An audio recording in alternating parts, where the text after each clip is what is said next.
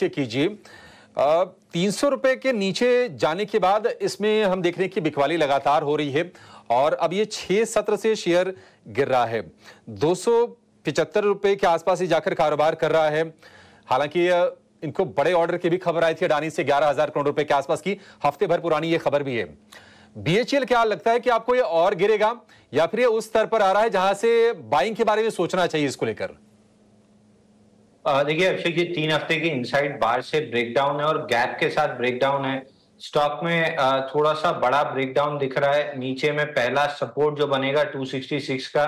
Overall ये stock मुझे नीचे 247 आता हुआ दिख रहा है। तो करंट मार्केट प्राइस पे आज के हाई को स्टॉप लॉस लगाते हुए सेल भी कर सकते हैं। नीचे में 266 इमीडिएट टारगेट रहेगा और वैसे 247 का फाइनल टारगेट रहेगा।